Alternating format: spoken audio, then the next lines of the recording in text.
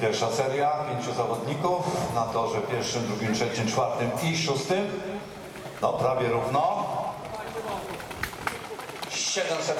761.